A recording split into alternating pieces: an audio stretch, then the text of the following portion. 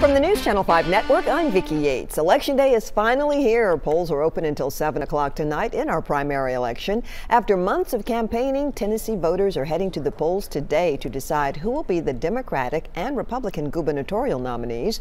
Also on that ballot are primaries for the U.S. Senate, Congress, the state legislature, and host of local contests across our state.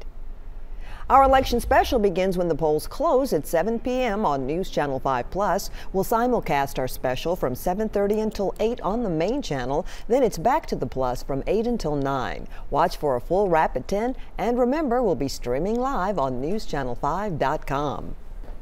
The fugitive on the run for days after a shooting in Dickson County is now in handcuffs. 19 year old Sean Caldwell was captured just before 8 o'clock this morning in the town of Burns. Sky 5 was there along Meek Cemetery Road and Spencer Hill Road just after he was found in a wooded area and taken into custody. He's accused in the shooting of a man at this Dollar General store in Tennessee on Monday. He was also wanted in Nashville for seven counts of aggravated assault with a deadly weapon. Now let's check in with Leland and the weather. All right, on this election day afternoon, upper 70s, low 80s out there in our eastern counties. Here in Nashville and back out to the west, where you see a bit more sunshine upper 80s. So 87 today on this election day afternoon. Rain's a bit more pronounced at times over in the east state. Then for tomorrow, 90, around 90 on Saturday and 91 on Sunday. Slight rain chance Friday, Saturday. 30% chance of rain coming in on Sunday afternoon.